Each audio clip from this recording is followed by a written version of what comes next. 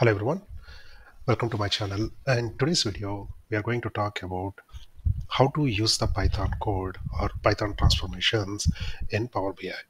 As you know that both Python and Power BI both are powerful tools and each tool is having their own advantage. Let's say Python is having the more computation power and it can easily slice the data, dice the data and apply the many logics easily.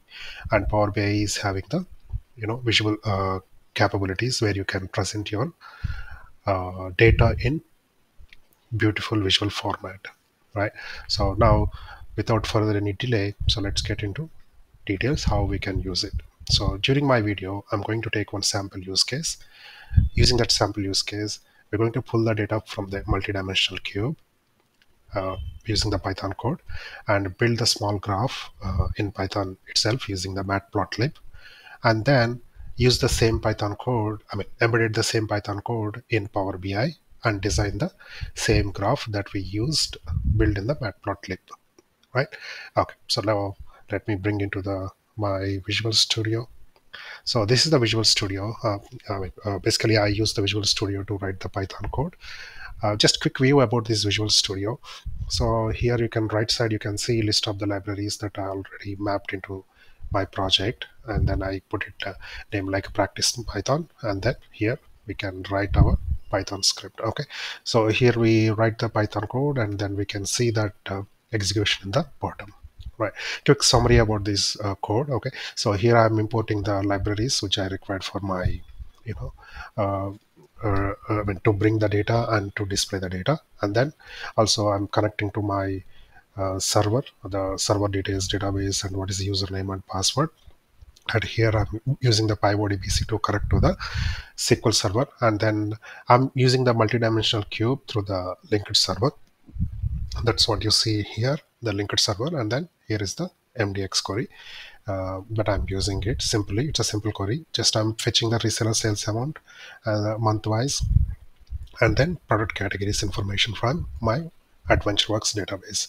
After that, I'm just bringing the data to, you know, pandas data frame and then doing some cleanup, uh, like uh, renaming the columns. And then finally, I've converted uh, column data types and then just aggregated the data. Uh, RSM is nothing but reseller sales amount. Uh, aggregated the data at category level. Then I'm displaying the uh, matplot or the graph in matplotlib.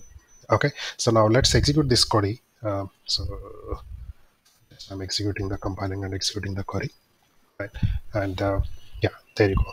So the graph is displayed using the matplotlib. But here you can see here this graph is like uh, very hard, right? It's uh, there is no, you know, um, uh, customized or beautification or anything. I mean, all those things are missing, right? So as a developer, as a business analyst, we are okay to, to see these numbers. But if you want to customize, definitely you need to have a proper visualization tool. So now what we do, we're going to take this code uh, to the Power BI and um, display the same graph. Okay, so now let me open the Power BI.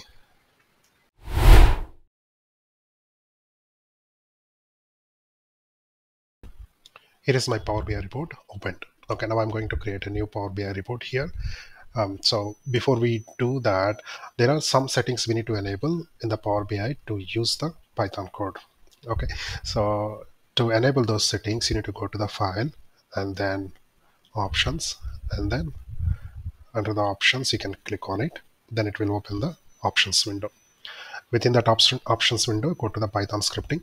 And here you need to set your python home directory. Where is that python home directory? Uh, to check this home directory what you can do so you can go to visual studio here right? And then go to the properties. Properties here. Sorry not here. Yeah here properties and then you can copy this particular full path. This is the where your python library is everything uh, is hosted. You can copy this into uh, power bi directly and then once you copied it just click ok. That's it. So that means whenever the power bi start running it it will go to the uh, your python library and start executing the script. Now next step is we're going to click on get data. Under that click on more here type python so that you will get python script. Python script as a source okay click connect. When you do that so there is a script window will open. Now i'm going to here I'll copy my data from here to here. I'm not displaying any graph right in uh, Power BI I. Mean using the matplotlib so I leave these two lines and then without the two lines rest I'll copy it and go back to the Power BI desktop and paste it that's it. Once I'm done click OK.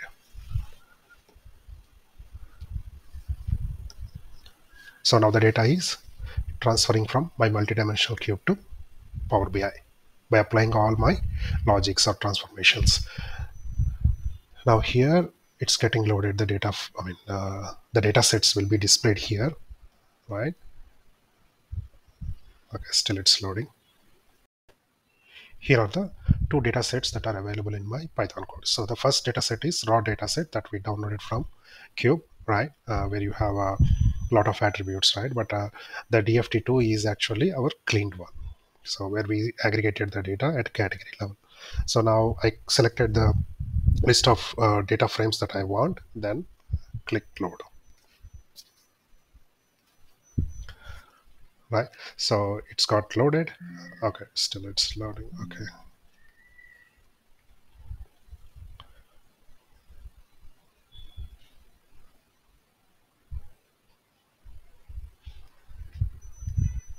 while it's loading just want to add it here this is the i mean simple code that i used it but in your scenario you can write many number of logics based on your business uh, requirement and finally you can arrive to the one clean data frame okay. Using that data frame you can build your wonderful power bi reports.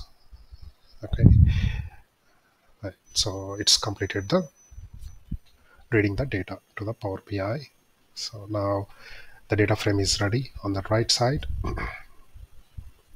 So now our goal is to create the same graph in the Power BI. Okay, so now let me minimize this and I go to drag here and I select RSM category and then select the line chart from my Power BI and then I'll drag it here.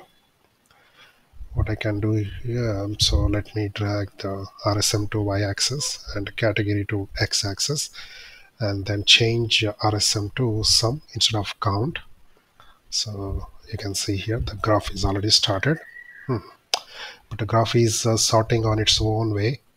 Instead of uh, category sorting it's sorting from largest to smallest RSM value. Now I'm going to change the sorting. So I want to sort it at a category level and then also I want to sort it ascending to descending. So by it will uh, be sorted alphabetical order right? Accessories bikes and clothing and then components now you can see here the same graph that we created in the Power BI. So now here I can simply extend my Power BI with additional features and options like uh, mm, data labels. If I want to display the data labels, then I can select this data labels option. You can see on the top the data labels are displayed. And if I want to rename this uh, column name, right, you know, so I can rename this easily, rename from the visuals. Okay, resellers sales. Amount right.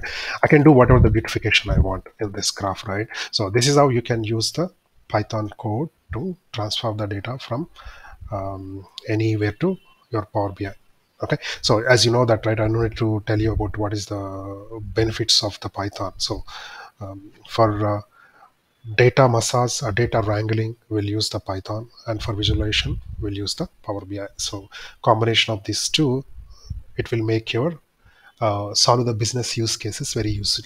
Okay right? So it's like uh, uh, uh, uh, you're mixing the right combination to your whiskey before you drink right? Same way uh, python is one of the best tool to wrangle your data and then display in the power bi so that's all about this video I'll see you in the next video with different